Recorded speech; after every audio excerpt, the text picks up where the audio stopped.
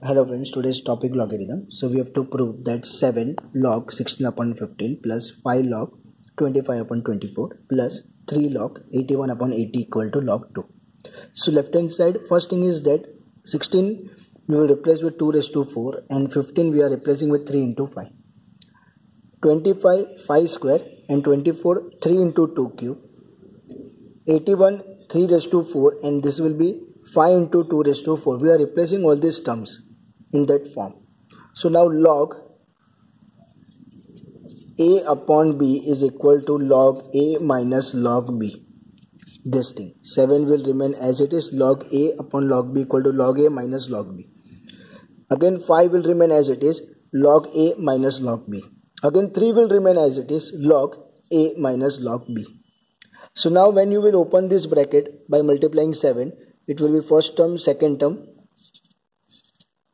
then after that as we have log 3 into 5 so in that case 7 log 3 minus 7 log 5 which we are writing.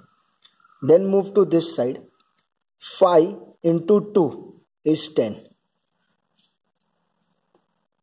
and then log 5 then minus 5 log 3 and then 5 into 3 is 15 5 into 3 and then log 2 then right hand side last part plus 3 into 4 that is 12 log 3 then 3 log 5 and then 3 into 4 is 12 log 2 this is how we are opening the bracket. Now if we check all these terms then at the end we will get only log 2 so first of all we will start with the cancellation part.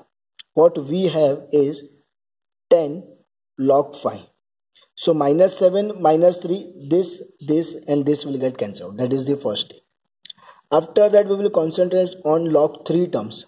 So we have minus 7 log 3 minus 5 that is minus 12 and plus 12 so this will get cancelled out now we left with 28 log 2 but we have minus 15 and minus 12. So minus 27 log 2 for this and this and 28. So 28 minus 1 27 is only one time log 2. That is what we want right hand side. Thank you.